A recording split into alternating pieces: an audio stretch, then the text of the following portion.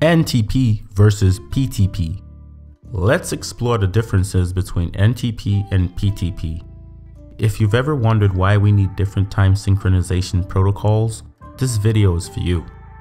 AV Network Guy here. NTP stands for a Network Time Protocol. It's a protocol that allows computers to synchronize their clocks over the network. NTP is a widely used protocol for time synchronization and it's been around since the 1980s. PTP, on the other hand, stands for Precision Time Protocol. As the name suggests, it's a more precise protocol for time synchronization. PTP was developed in the early 2000s and it's designed to be used in industrial control systems and other applications that require very precise timing. Think of a factory for example.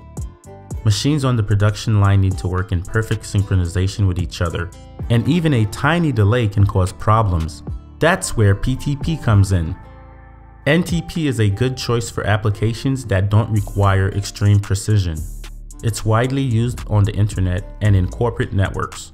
It's accurate to within a few milliseconds. NTP works by adjusting the system clock based on the time received from a reference clock. PTP on the other hand is accurate to within a few microseconds. It works by sending timing packets between devices on the network, and each device adjusts its clock based on the timestamps on those packets. So why do we need both NTP and PTP? Well, it's all about choosing the right tool for the job. NTP is great for applications where a few milliseconds of accuracy is good enough, while PTP is designed for applications where every microsecond counts. Before we go, we should mention one important use case where PTP is the preferred protocol. Network multicast for video. When video is streamed over a network to multiple devices, it's important that all devices receive the same video frames at the same time.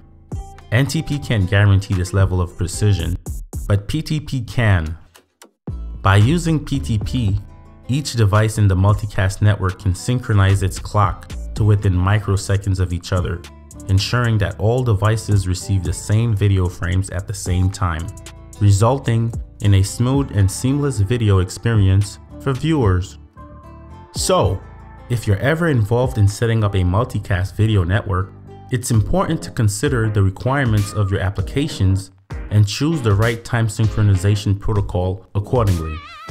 And that's a wrap about NTP and PTP. Hope you found it informative and interesting. Don't forget to like and subscribe for more Pro AV videos like this. Thanks for watching.